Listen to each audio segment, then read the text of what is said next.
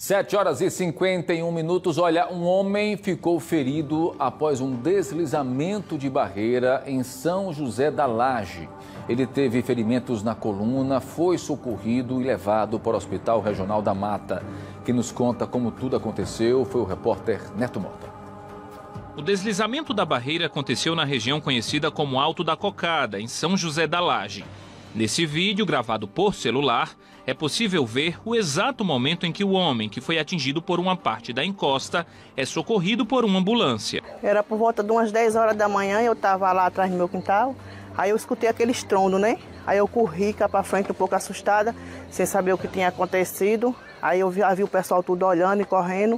Tinha sido a barreira da casa do vizinho que caiu e atingiu um senhor que vinha subindo, o foguinho. Ele vinha subindo, ele foi atingido. Quando eu cheguei lá, ele estava caído no chão. Aí a gente ficou pedindo para alguém acionar a ambulância.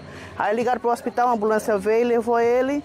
Mas é, até o momento a gente não sabe bem da saúde dele, né? Vai pedir a Deus que ele fique bem. Meu Deus, eu tive um susto. Pense. Eu pensei que tinha sido algo assim, um. Na hora eu nem raciocinei direito, né? Eu corri para fora e digo, meu Deus, o que é isso? Aí quando a gente percebeu, tinha sido o muro do vizinho, tinha caído. A Defesa Civil do município esteve no local e constatou riscos em uma casa que foi atingida pelo deslizamento.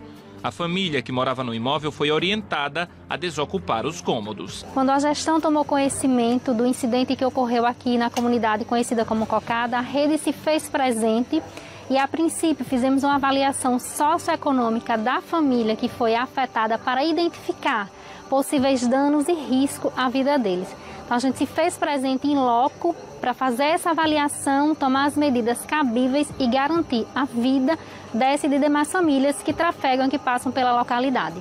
A equipe técnica que estava presente na localidade conversou com a família, deu as devidas orientações, pedindo à família que saísse da localidade para evitar possíveis danos a Secretaria de Infraestrutura desobstruiu parcialmente a localidade para evitar que alguma coisa maior acontecesse no decorrer do dia com as chuvas que porventura pudessem acontecer.